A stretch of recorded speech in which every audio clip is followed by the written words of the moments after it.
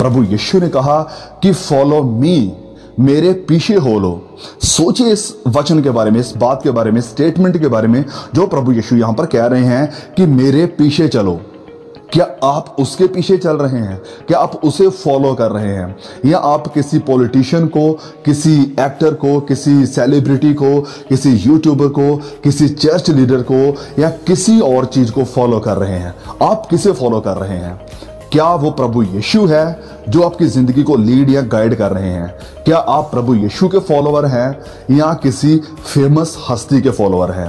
प्रभु यीशु कहते हैं कि मुझे फॉलो करो। सो एज ए क्रिश्चियन मसीह होते हुए हमें ज़रूरत है कि हम प्रभु यीशु को फॉलो करें, क्योंकि वही है जिसने हमारे गुनाहों के लिए अपनी जान दी है। वही है जो हमारी नजात के लिए कफारा बना है। कोई सेलिब्रिटी नहीं, कोई और इंसान हमारे लिए नहीं मरा है। किसी और इंसान के लहू बहाने से हमें नजात नहीं मिली है, वरन ये प्रभु यीशु के लहू बहाने से ही है।